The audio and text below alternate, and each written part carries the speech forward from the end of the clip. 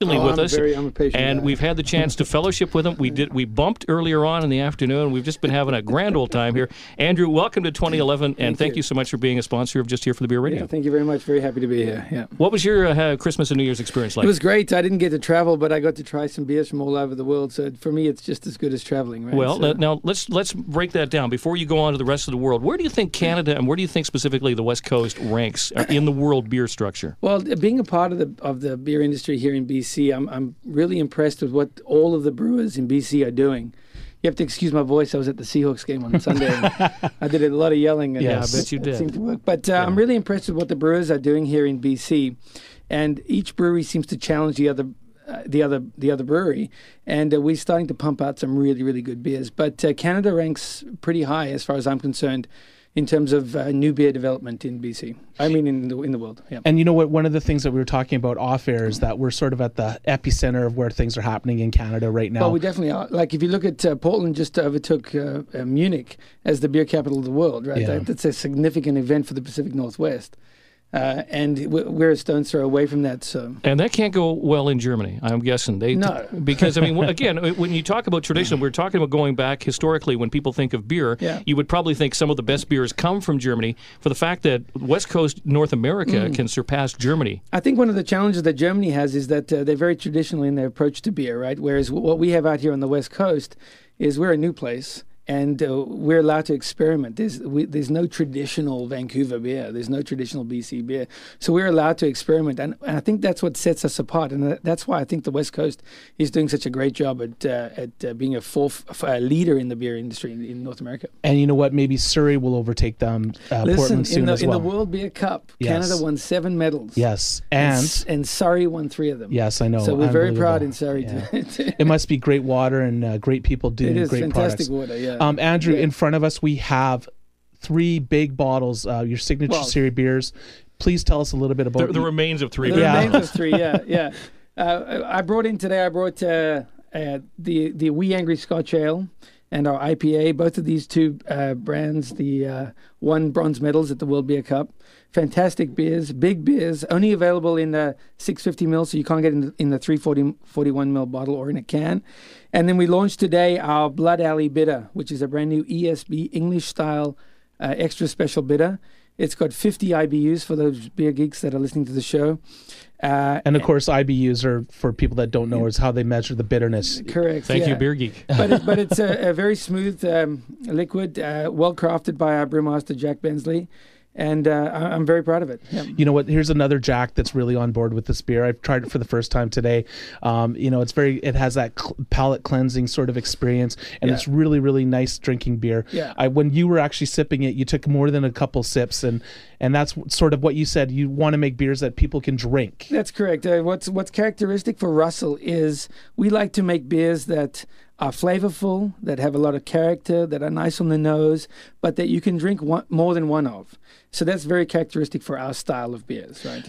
How did you guys come up with the name for that beer? Blood Alley Bitter. Yes. uh, to be dead honest with you, um, my uh, uh, one of our sales guys that works for us was driving around town, and the one place that he was uh, d- d- d- a little nerv- nervous to go down was Blood Alley. Yeah. And uh, he he texts me one day. He goes, "Hey, what, what about Blood Alley Bitter?" And I'm like, "Bam!" I called Jack, our brewer.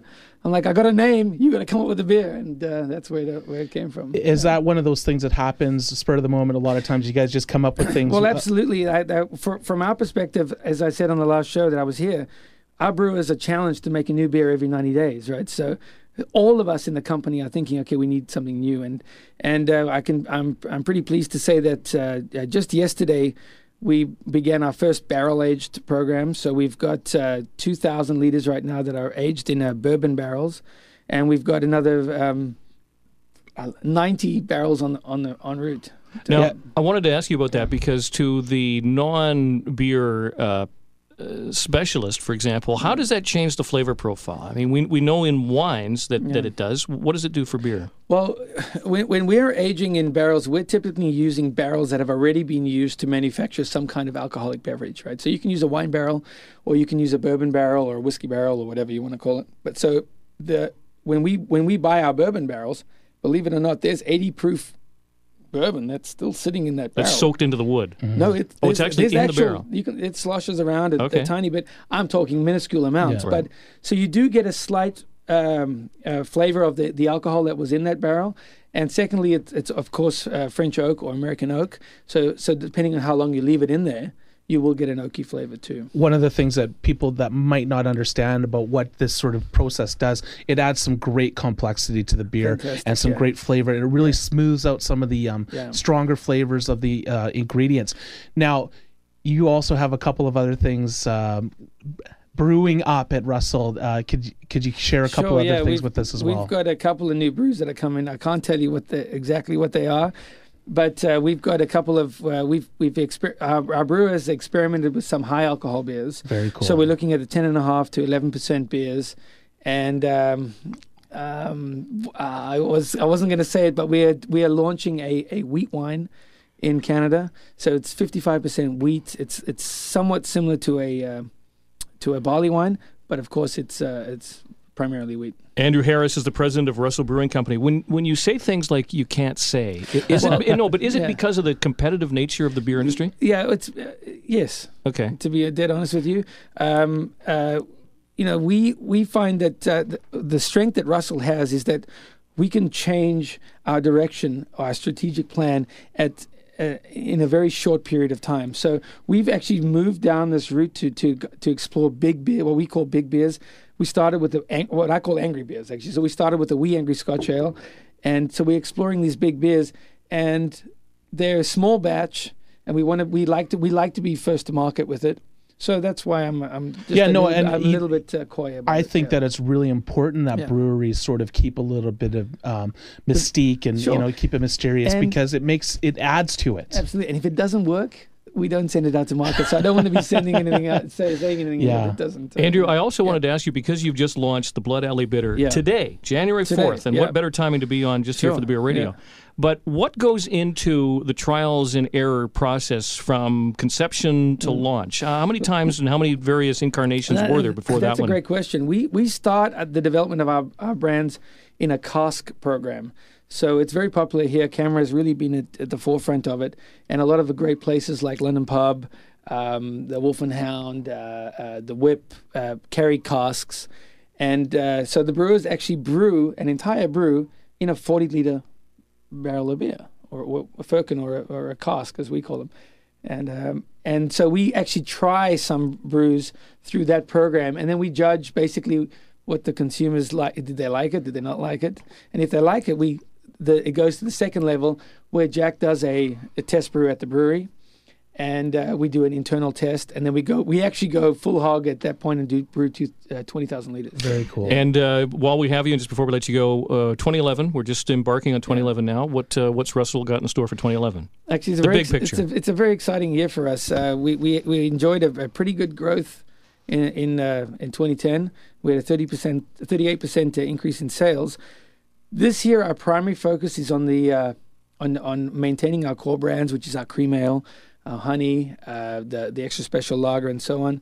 But at the same time, expanding our Brewmaster series, like our IPA, the Wee Angry Scotch Ale, and developing a what we call specialty beer or super premium category, uh, where we're going to do corked beer, uh, barrel aged, uh, bottle conditioned. So our goal this this year is to do 500 hex of barrel aged and 500 hex of uh, just uh, super premium. What about uh, just? I'm just going to throw this out here. Yeah, yeah. What about just here for the beer radio lager? What do you? There we want to try go. Sounds fantastic. Yeah, I think you can work on that for the next show. I could. Yeah. I might have to convince it to be an ale, but anyway, An we'll ale, see. yeah, yeah. Um, it's such a pleasure to have uh, Pleasure Russell Brewing indeed, Company yeah. on board, and Yeah. the timing couldn't be better. Blood Alley Bitter is Yeah. in stores today. Yeah. And Andrew Harris, a pleasure having you. Thank you so much. Thank, Thank you. You're listening to Just Here for the Beer Radio, Canada's only dedicated beer radio hour. It's sponsored in part by the King's Head Tavern in Kitsilano, a Vancouver institution since 1973. The all new King's Head offers live music Thursday to Sunday, the legendary Beggar's Breakfast, 15 varieties of wings, the King's Head Tavern on Yew Street in Kitsilano.